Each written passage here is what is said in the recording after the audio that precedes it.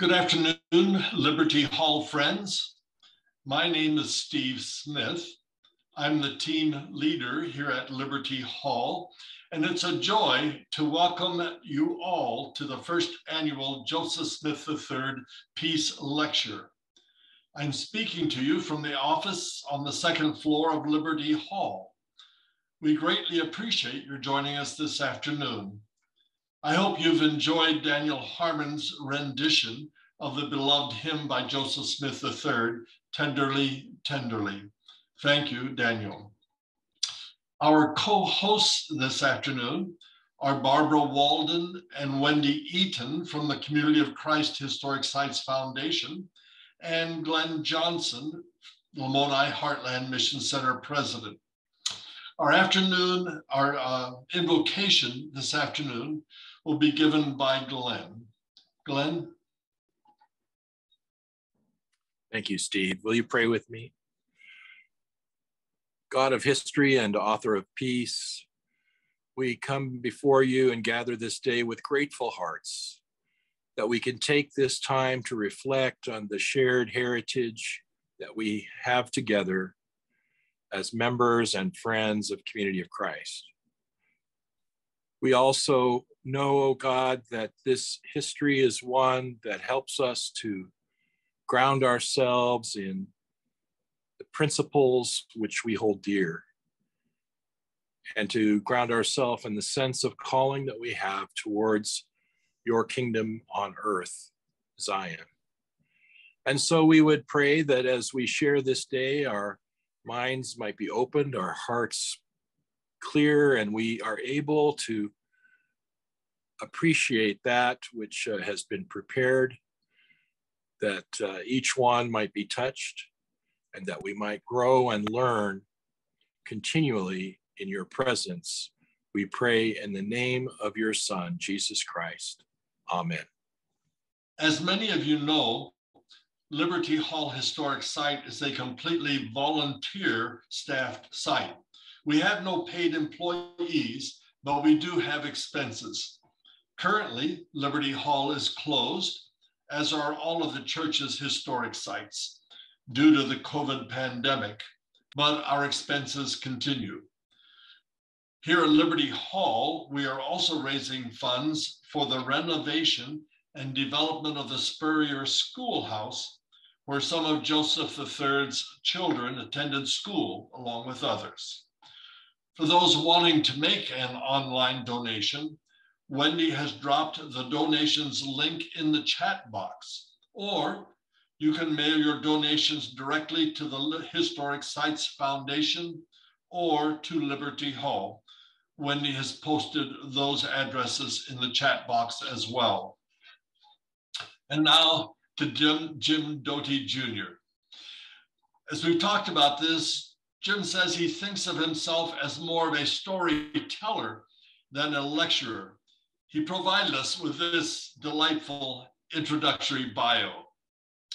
Jim's earliest memory, he says, is lying on a blanket between his parents, looking up at the beautiful starry night sky from a rural area in southern Colorado. As a small boy growing up in Colorado, Jim wanted to be a forest ranger and wander the mountains of Colorado. Then he changed his mind and decided he wanted to be a nature photographer. Next, because of some wonderful traveling ministers that came to his congregation, he decided he might want to be a traveling minister for his church. By the time he graduated from high school, he decided he wanted to be a high school band director. Jim says he lived out those goals, but in reverse order. After graduating from the University of Nebraska, he was a school band director for 11 years and church choir director for 15 years. After two years as president, I'm sorry, after two years of persistent prodding from Apostle Lloyd Hirschman, Jim became a traveling minister for the community of Christ. After retiring as a traveling minister, he taught photography at Ohio State University. A lifelong participant and member of the Community of Christ, Jim has served as a pastor district president, mission center president, and president of 70. Jim's undergraduate degree is in music education with, as he says, side doses of English literature and history. His first graduate degree was in music with side doses of history and psychology. He spent one year in seminary studying Bible and Christian theology. His second graduate degree is in Christian theology and the religions of the East. Jim met his wife, Melissa, while at the University of Nebraska. They have two sons, one daughter, two daughters in law, and four grandsons. Jim says they are the light of his life. Jim's great passions are spending time with family and friends, sharing the good news of the gospel, music, and photography. Accompanied by camera or telescope, he still spends hours looking up at the night sky. Thank you, Jim, for being willing to share with us this afternoon. We're looking forward to your telling us about your friend, Joseph Smith III. Jim has been having internet issues at his house, uh, but Jim, are you still with us?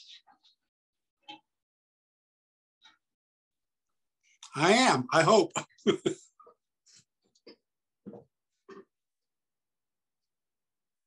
so can you hear me now?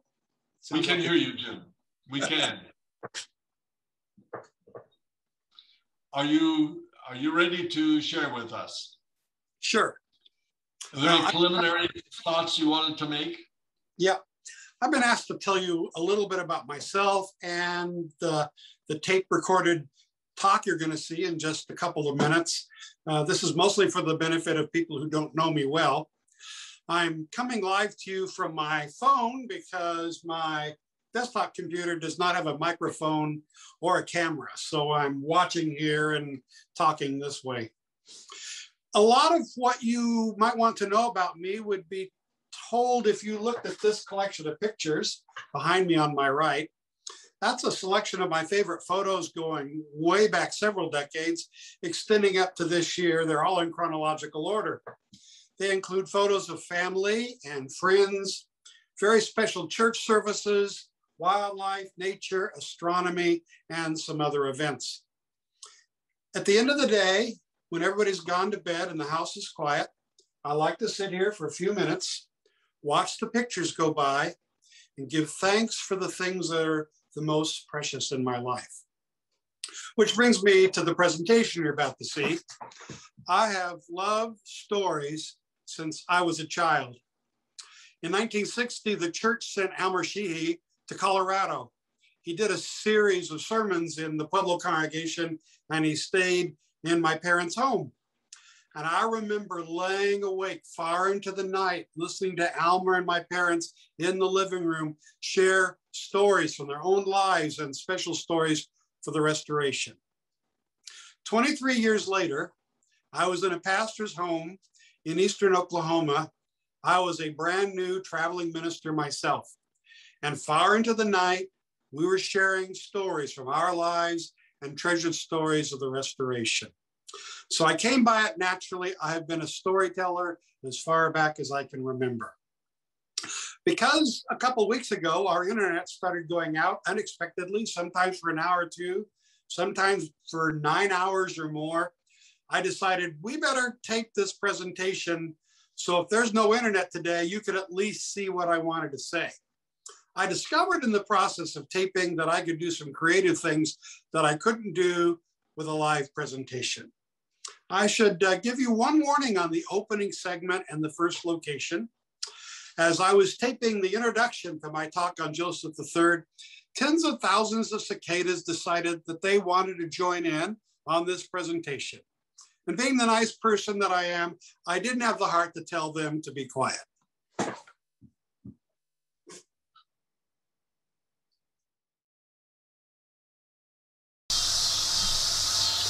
It's a beautiful summer evening here at Liberty Hall.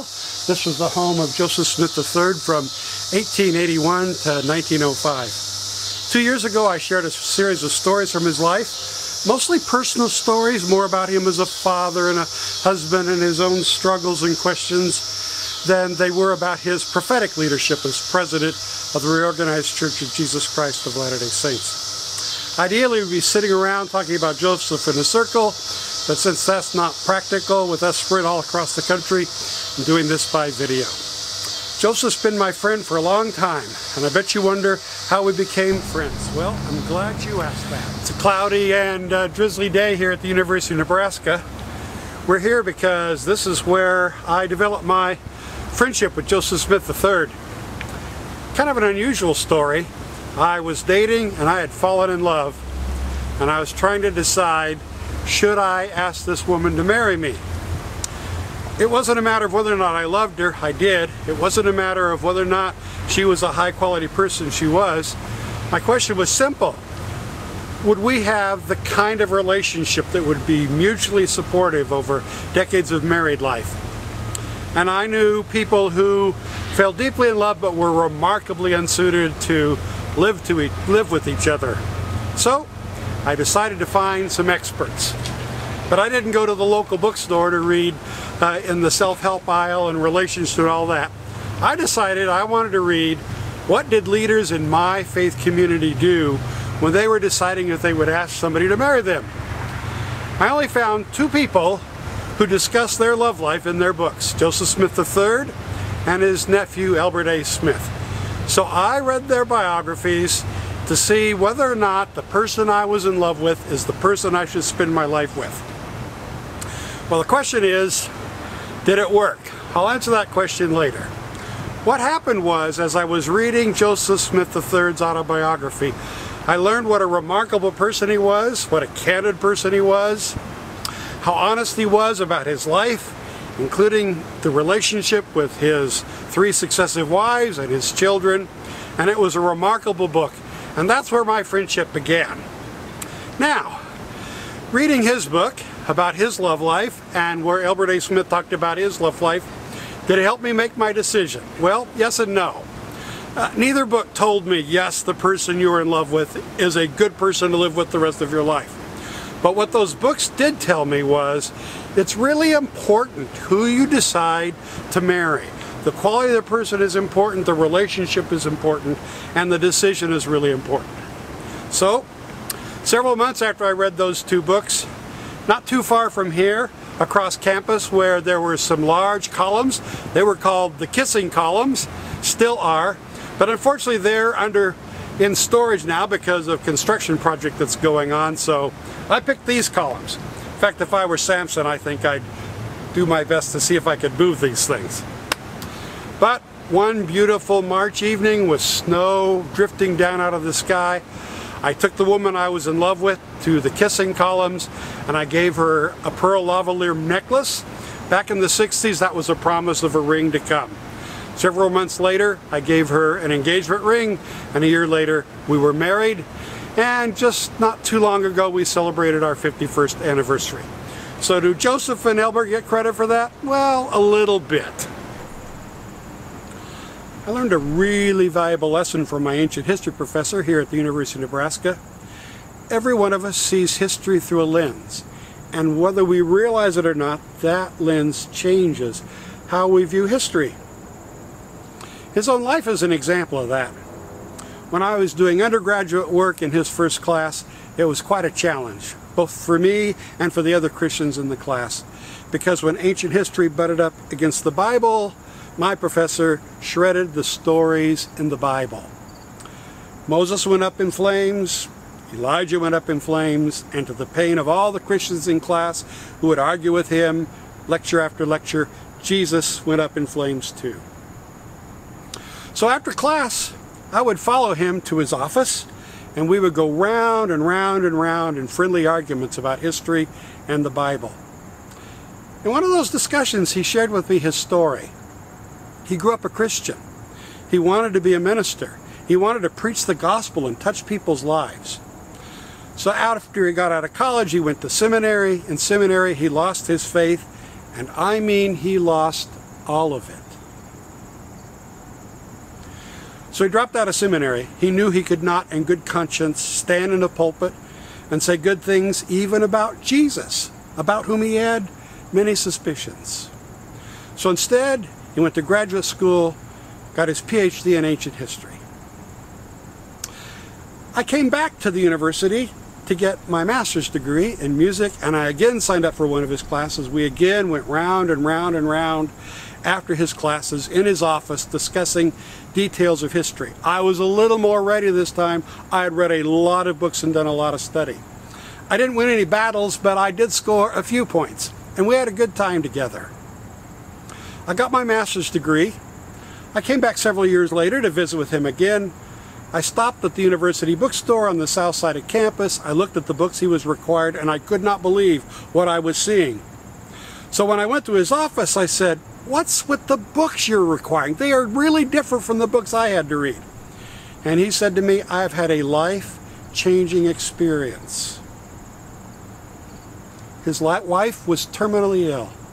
The doctor said there was no hope of recovery. Against his wishes and behind his back, a group of Christians got together and prayed for his wife, and she was instantly and miraculously healed. And he looked at me and said something that has stuck with me to this day. Once you accept the possibility of a miracle, it changes everything. Now, if he was standing right here next to me, he would say, you are foolish and gullible if you believe every miracle story you hear, including every miracle in the Bible.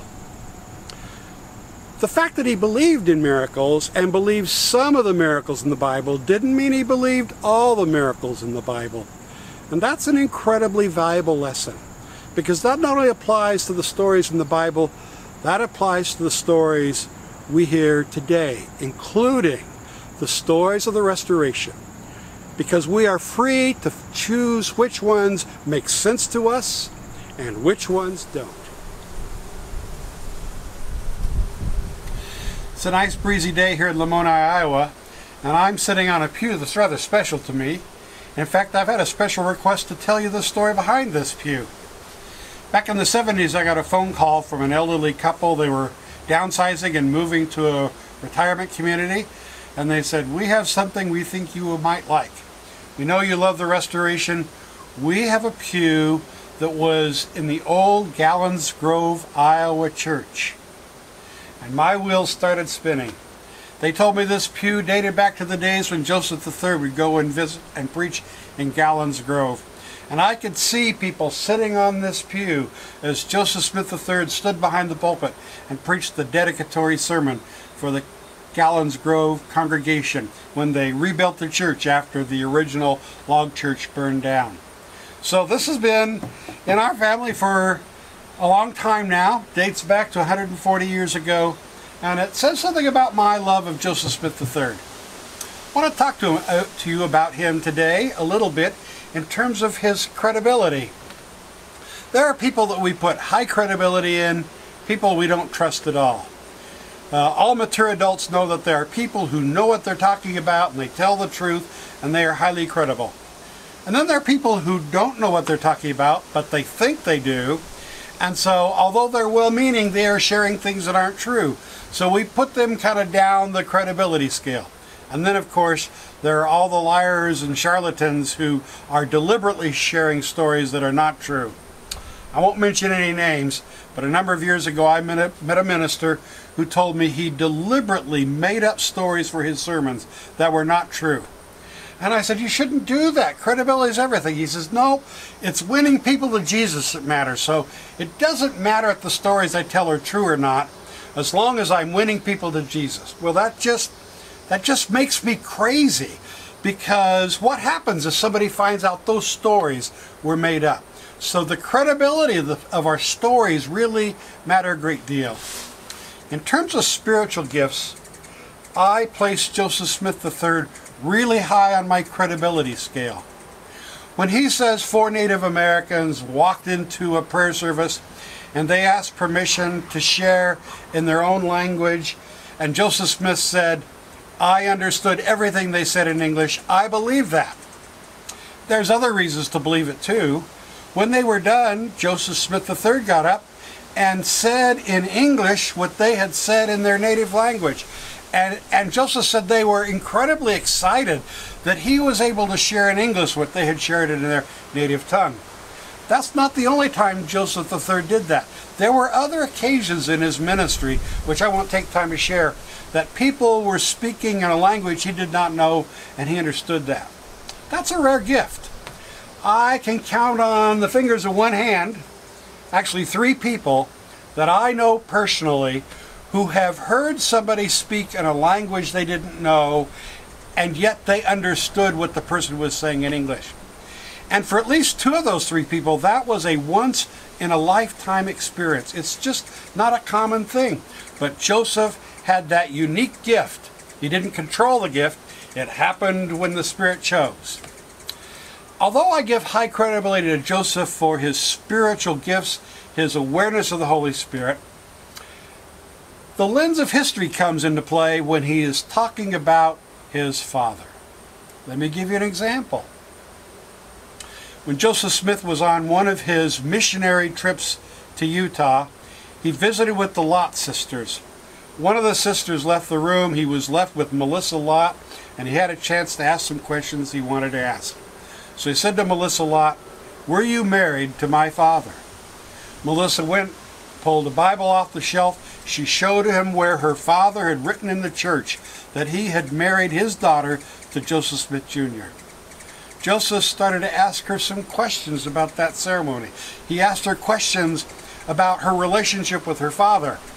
He was being careful for the 1800s, but if he was an interviewer today, he would have looked her right in the eye and said, Did you have sex with my father?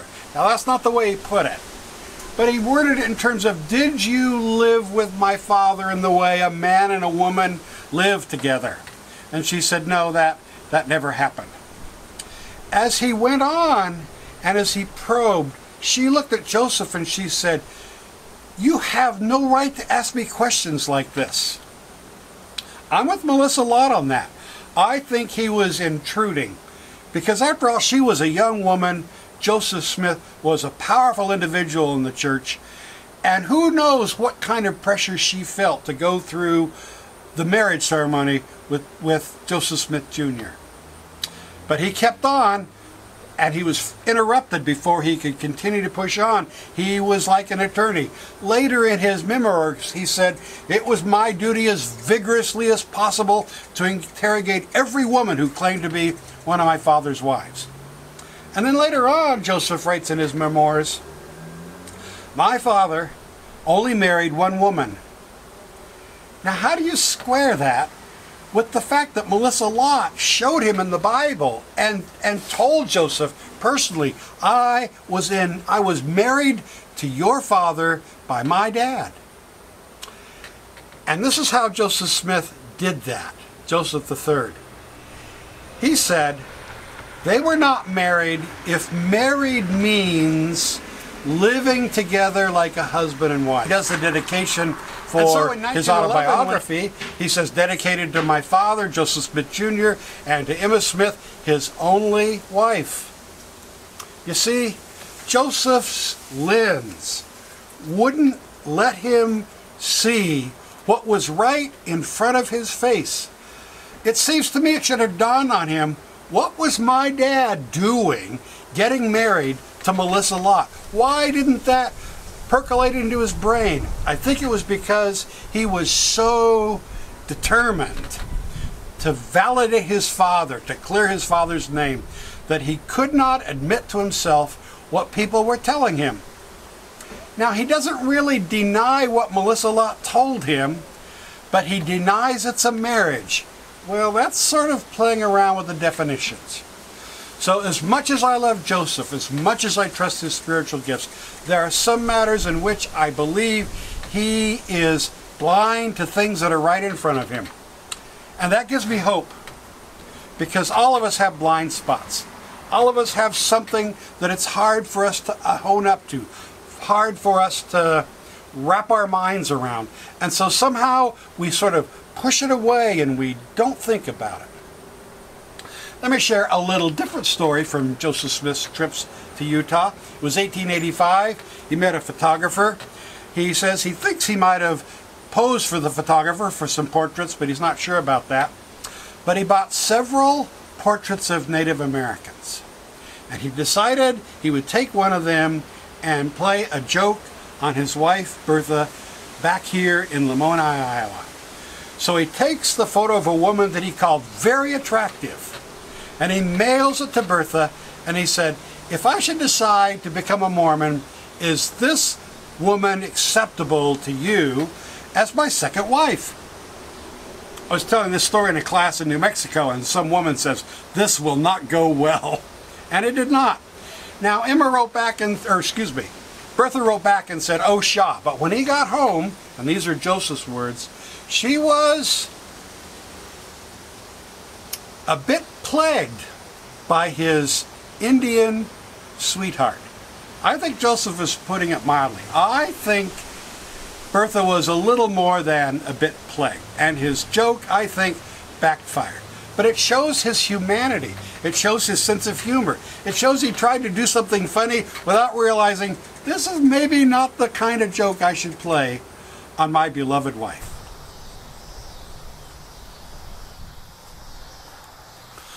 Walking through Rose Hill Cemetery is like walking through early reorganization history. Some of the stories are really happy stories and some of them are just incredibly sad. Unfortunately, I'm going to share two sad stories because it talks about Joseph and how he dealt with grief. Joseph and his family moved from Nauvoo to Plano, Illinois in January 1866. Two months later, his wife, Emmeline, was homesick and wanted to go back to Nauvoo. So Joseph took Emmeline and their really young son, Joseph Arthur, to the train station in Chicago, Illinois, put them on the train. As he helped them onto the train car, he said he was struck with an impression and he knew he would never see his wife and son alive together again. He said it struck him with a force and a power that uh, is hard to imagine short of actually watching the event happen. Joseph had ministry to do, places to go, things to do, and so he watched the train pull out of the station. He didn't know which one it would be that would die, but he knew that one of them would die before he saw them again. Would it be Emmeline, who had been sick and he had been worried about her health for a while and wondering if her life would be short? Or would it be young Joseph Arthur, who was a quite healthy, almost five-month-old? He guessed it would be Emmeline. Emmeline, but he was wrong. He was off doing ministry when he received an urgent message to come to Nauvoo. He did not make it on time. Young Joseph Arthur died five months from the day he was born. It's a terrible tragedy for Joseph, but it was the first of many tragedies to come his way. He was neither protected from nor made immune to the horrible circumstances of the 1800s in which people regularly lost a spouse or a child. It was just part of life back then. Right here is the headstone of his wife Bertha and three of their young children. I'm going to tell you about Bertha Azuba. She was not quite six years old when she was playing in the schoolyard. The teacher called the students to the door and she headed for the door. She did not notice that a boy was playing by swinging a stick around his head, quite long stick, quite rapidly, and he was challenging other kids to run in. She didn't notice that. She ran right into the stick and hit her right in the neck. She was in a lot of pain and allowed to go home. A few days later, she turned terribly ill. The doctor diagnosed a putrid throat. The word was sent to Joseph to get to Nauvoo as quickly as possible. He did not make it in time he found Zuba shrouded in death. Joseph makes an interesting confession. He didn't think it was possible to love one child above another, but for, for some reason Zuba had become a favorite of his. He took her death really hard. He grieved terribly. In fact, he confessed to, these are his words, a great spirit of rebellion. Against who? Or against what? He gives us a clue. He said he asked some questions over and over again. Why did this happen? Why did this happen to me? I was out in the mission field doing the Lord's work, trusting everything to providence, and yet this was allowed to happen to me. It got to the point where he could barely function as a minister. The grief, the anger, it was all just getting to him. He had hit the point of desperation when he had a spiritual experience. He saw Zuba in a vision, and Zuba was playing with other children, and there was a, an older person there who seemed to be in charge of the children. He looked at Zuba, and she was very happy. The person who was in charge of the children looked at Joseph and said, Joseph, Zuba is very happy here. And he looked at her, and she was. She had a bunch of flowers gathered in her arms, something she loved to do when she was living. That experience changed everything for Joseph. He was able to put behind him that spirit of rebellion. He was able to heal from the grief, put his life back together, and go on with his ministry. He made a theological reflection about all of that when he wrote, I do not believe God sends tragedies to us, but I do believe God allows them to happen and our character is developed as we deal with those tragedies. I need to make a correction to the segment you're going to watch next. I have a tendency to misspeak and I'll say Matthew instead of Luke or Nephite instead of Lamanite. So sometimes my mouth just goes rogue and does its own thing. So when you watch the segment next, when you hear me say Joseph Smith III was a circuit court judge, in your minds you just need to say he was actually a justice of the peace. One of the most significant experiences in Joseph's life, from my point of view, happened in his bedroom in Plano, Illinois. But that's a private house and I can't film there, so I'm upstairs in a bedroom here at Liberty Hall. In 1878 and 1879, a typhoid-like epidemic went through Plano. Joseph and the elders were kept busy almost every day from 6 p.m. till midnight praying for the sick. It was a large congregation. There were only three or four elders. Over a period of time, Joseph Smith became annoyed. He said the elder, excuse me, the other elders were annoyed too. As this progressed, he became irked. What irked him? The fact that the people that were calling for the elders to lay their hands on their heads and anoint them and pray were also calling for the doctors. And Joseph got so irked at that, he finally one night came to the conclusion that the next time someone asks me to come and pray for them, I'm going to ask if the doctors have been there or if they're going to ask for the doctors. And if they say the doctors, I'm going to say, I'm not coming. For some reason, Joseph never says this explicitly, but it's sort of implied in the whole long story, which you can read at joseph3rd.com. In the whole conversation that occurred after his decision, it's sort of implied that he kind of felt like, okay, if you have faith, call for the elders, and, and what happens, happens. And if you don't have faith, don't bug the elders, call for the doctors. So having decided that he would no longer pray for anybody who called for the doctors, he went to bed.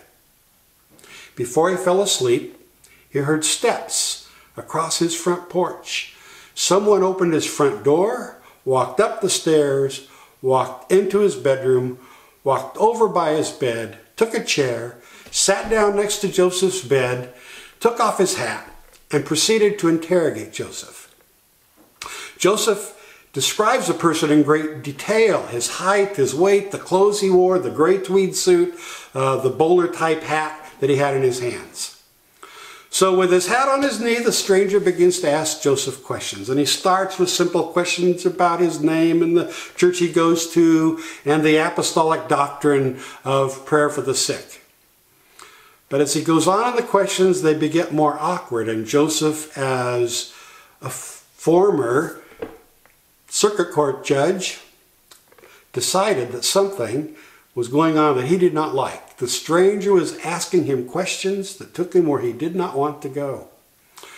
I'm going to give you the Cliff's Note paraphrase version. I'm going to boil down six columns of conversation into just a few sentences. So I you, urge you to read the whole conversation. Joseph, do you have the power to heal the sick? No, I don't have that power. If I did, everyone I prayed for would be healed. Joseph, when you pray for the sick, who decides if they are healed, you or God? Well, God was the obvious answer. As the questions go on, he asks, talks about the doctors coming, and then he says to Joseph, All right, if the doctors care for the sick and you go and pray for the same people and ask God to heal them, who decides if they're healed, you or God? Well, God. As the conversation evolves, Joseph gets more irritated. He expresses his irritation to this stranger. The stranger takes his bowler hat off his knee, puts it on his hand, and spins it on his finger, and he looks at Joseph. And he proceeds with the questions. It really boiled down to this. What the stranger was really asking Joseph is Joseph, what is it to you if the saints are healed? Why do you care if it's the elders or the doctors or both?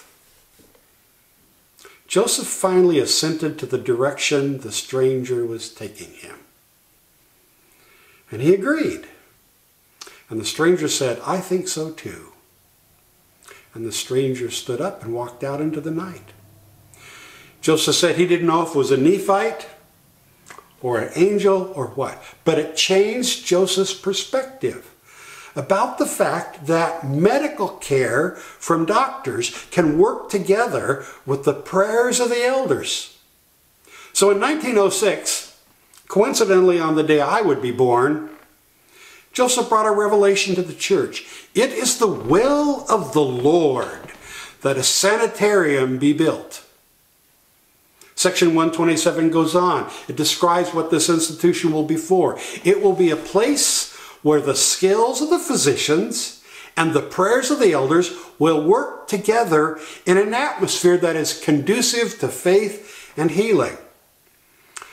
More remarkably, Apostle Joseph Luff, who had acquired his medical degree, was directed in the revelation to be the head of the institution. And the revelation goes on. It says that Joseph Luff should continue in his spiritual office as an apostle and his calling as a physician. How extraordinary is that? That prayer and faith and medical skill and being an apostle of the Lord Jesus are combined in one person and he is commanded by God of the sacred institution. As a side note, I was born in that institution.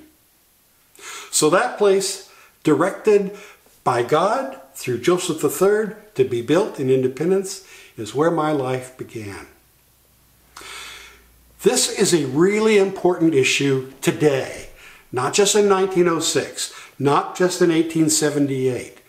Is there a place for faithful prayer and medical skill to work together? Joseph's experience, the Doctrine and Covenants, the history of the sanitarium says absolutely there is a place for them to work together. We're upstairs in Liberty Hall. This room was used by Joseph's sons to do all kinds of things. In the room around the corner to my left, Frederick Madison Smith had a dark room. He loved photography as well as science. I've chosen this room to share a message about Joseph Smith III. He had been terribly sick. The saints were worried about him. There was an afternoon prayer and communion service, and during that service, a prophetic message was given. And Elbert A. Smith shared this message in the Herald. And you can read it at josephs3rd.com. The anxiety of my people concerning the condition of my servant Joseph is known unto me, saith the Lord. I have heard the prayers that have come up from many homes and I perceive that many hearts have been made very tender and devout. Let not your hearts be troubled in this matter. It is not given to you to know my will as to the time of his departure. Whether he depart or tarry, what is that to thee? But my will shall be done in this as hitherto, for I have directed his life even from the day when the light of this world first dawned upon his eyes. Yea, I am with him now, though that light has failed. Never at any time have I deserted him. neither in darkness nor in light, neither in storm nor calm. Because I have loved him, I have withheld neither joy nor sorrow that would be for the perfecting of his character. Because his patience was unfailing and his charity broad and deep, I have loved him, and I have not given him my spirit by measure. Because he has loved righteousness and hated iniquity, I have anointed him with the oil of gladness and his name is numbered with that illustrious company of whom Jesus Christ is head and front. In due time, his now blind and sightless eyes shall behold all the glories of eternity. It remains for the church to profit by his life, to be loving as he was loving, to be charitable as he was charitable, and to go on in faith they are admonished also to look beyond him to the man of Galilee, whose great sacrifice has been celebrated here today, and whose example they should imitate in all things. Amen. Thank you, Jim, for sharing these stories of Joseph Smith III, your friend, who lived here at Liberty Hall. It's time to bring this first annual Joseph Smith III Peace Lecture to a close. And I'd like to thank Jim uh, for sharing these memories of his friend Joseph. I'd also like to thank Barbara and Wendy Eaton of the Community of Christ Historic Sites Foundation and Glenn Johnson of the Lamoni Heartland Mission Center. Lastly, I'd like to thank each of you, our friends in the audience, for your love of a good story and for generously supporting Liberty Hall and the Community of Christ Historic Sites Foundation with your donations that makes events like this possible. Thank you and have a good rest of the day.